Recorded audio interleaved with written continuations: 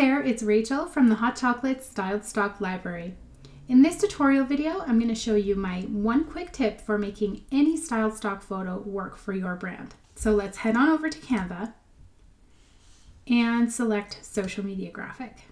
So one question that I most often get is how do I actually make a stock photo work for my brand if it's not in my brand color? And this is a pretty easy fix, believe it or not. There's a couple things that you can do in order to make virtually any stock photo really work for you. So I'm going to go over to my uploads and select the photo that I want to use. Let's say I'm going to use this one from our new winter pink and gray collection. So I'll click and drag it out so that it fits my entire canvas. Now, let's say that these colors, while pretty, are not necessarily my brand colors.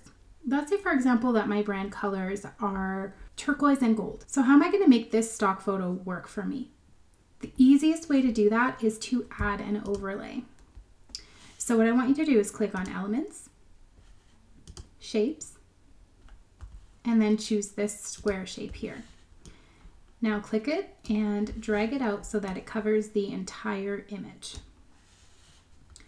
Come over to your color selector and choose your brand color. Now if you have Canva for Work, it's probably already in here in your palette. If not, you can click on the plus and then you can add in your color code, so your hex code if you already have it for your specific brand color.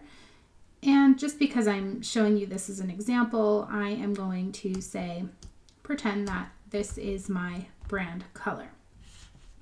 So what I'll do now, once I've selected my brand color as the overlay, I'm gonna go to transparency and I'm gonna bring the transparency down a little bit so that I can see some of the photos still peeking through. It's going to add interest to my graphic rather than using just a plain turquoise background. But I'm not worried about what color is under there because now it's going to work specifically for my brand. So if my colors are turquoise and gold, I can go ahead and add any elements that are part of my branding graphics. For example, we have got this really cute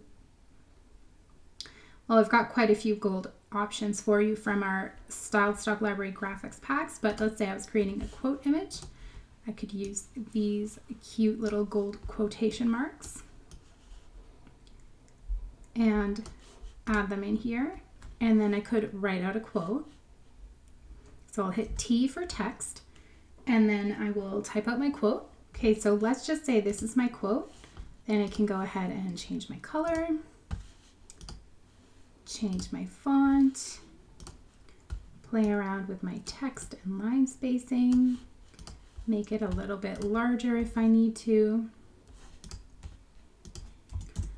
Just adjust however I need to.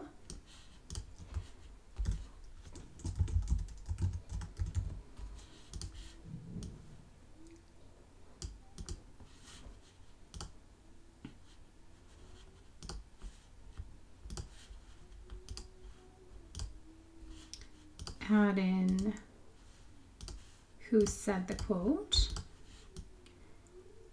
And then I can adjust by selecting all the layers. In order to do that, click on one and hold down shift. And then you can actually just grab them all. And you'll be able to center it better. And then, oh, of course, if you wanted to add your URL, you could do that as well.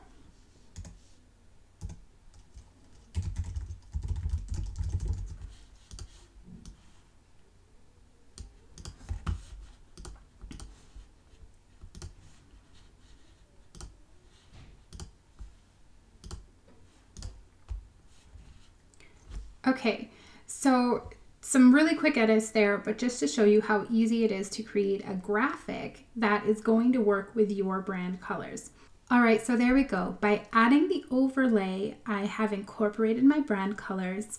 I said it, my colors were turquoise and gold, so I've actually incorporated this pretty little gold element as well to tie in both of my brand colors.